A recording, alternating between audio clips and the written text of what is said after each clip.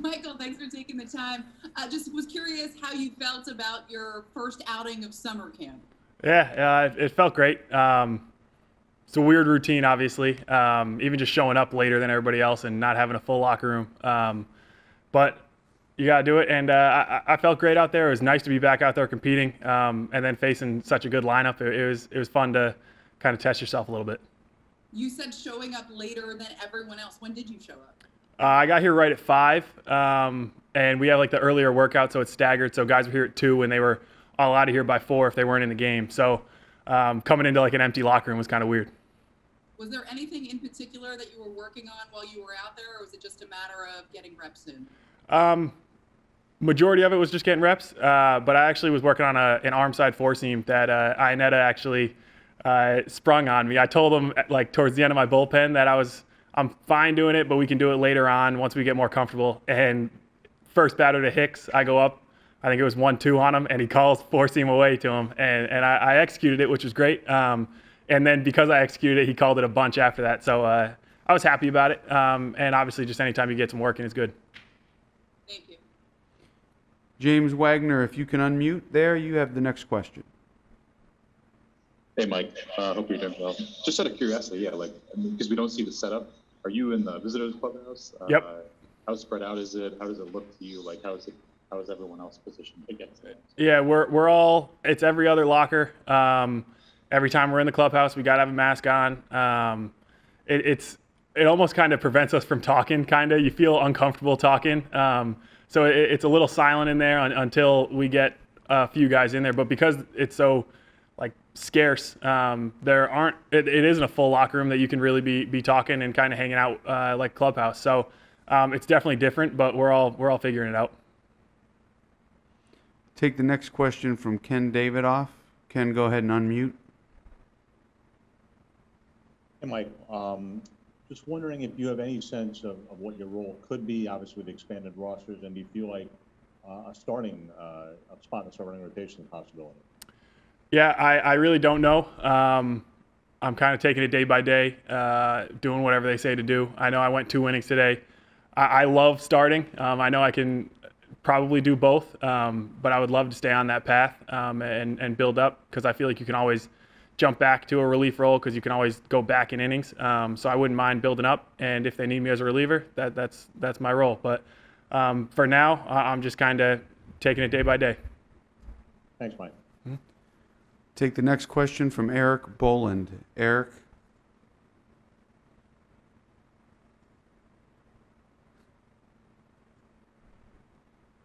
Erik, you need to unmute. There we go. I think we got it this time. Hey, Mike, thanks for uh, thanks for coming in tonight. Curious as a um, as a fellow pitcher, what did you notice, admire most about Gerrit Cole when you saw him for three weeks in spring training, and, and obviously you know watching him out here tonight? I know you had your job to do, but I'm sure you snuck a peek at what he was doing occasionally. Yeah, yeah, of course. Um, it, it, honestly, his intensity. Uh, he does not take a pitch off, and I, I talked to him about that. Um, kind of in like his pre or his uh, in between start routine where when he throws bullpens in between, it's max effort. He doesn't want to overdo it. He doesn't want to throw 50, 60 pitch bullpens, which I actually like doing because I, I, like throwing as much as I can. Um, but he said he wanted to be game like every time he was on the mound. So when he was on the mound in his bullpens, even if it was only a 15, 20 pitch bullpen, every single pitch was full intensity. Um, and then you see that out on the mound. Even like in these intrasquads, first one of spring training 2.0 and he's mad at himself for missing pitches, mad at himself for not executing. Um, so it's that like competitiveness and intensity that he brings that I hope to do the same. Thanks, Mike. Take Sweeney Murti next. Sweeney, you can unmute. Hey, Mike. Um, was the the four seam you're talking about away to the lefties? Is that in place of something? Is it trying to counter something else in your repertoire? Yeah, I, I, always feel very comfortable throwing away to righties because um, I can kind of backdoor a two seamer where I started away. Um, and for the most part, if I execute it, right hand hitters are just going to give up on it. And it's kind of a free strike for me. Um, when I do that to lefties, I have to throw a two seamer middle and have it like trust that it's going to break away. Um, and I, have come into a lot of problems with lefties that, oh, whoa, if I'm trying to steal a strike, they just stay on it and take the freebie with a little single to left field. Um, not every hitter does that, but I know like a, a, a Brett Gardner, it, like he would take that every single time out. Where if it's an 0 fastball away and he knows that I like doing it, he'll just slap that thing the other way. Um, so for me, I just wanted to get free strikes and or as many as I possibly can. And so I know me across my body, a little bit different slot, lower slot. If I throw that thing and kind of stick it on the outside corner, it almost stays like a freeze fastball where it starts over there. They're expecting it to continue to break away, and then it just stays there. Um, I wasn't planning on using it in like a, a 1 2 0 2 count like Iannetta wanted me to. I threw a, a couple uh, to righties as well, one to Voit, one to Judge, um, that I ended up kind of running too far in, or I just started too far in. Um, but for the most part, I, I want it to be just like a an 0 fastball that I can get ahead early and um, be confident that it's almost going to be like out of my hand, no one's going to swing at it.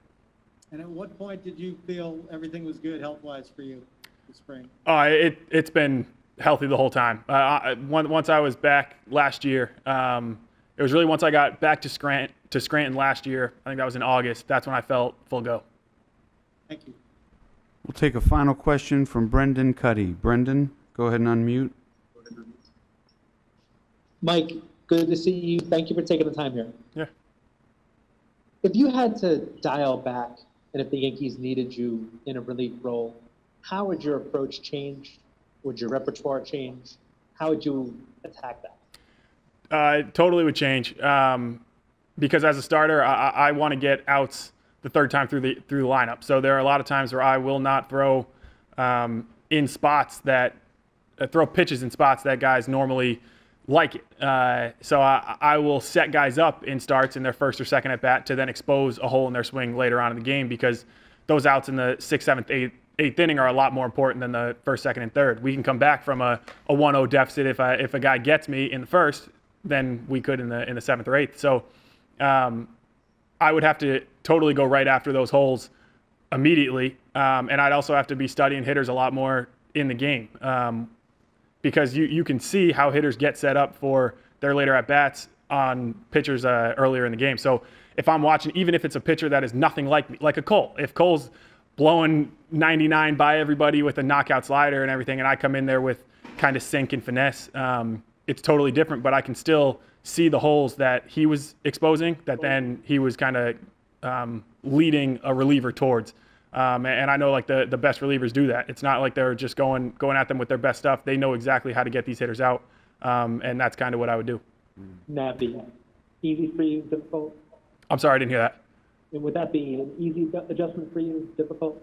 Um, it, it, it'd be easy because I, I love watching video, so it's now just live video um, that I'm watching. Um, the only difference is I'd have to do it every day instead of every fifth day. Um, where I always say that a starting job is easier than a relief role because I get four days off in between, and relievers have to be ready every single day.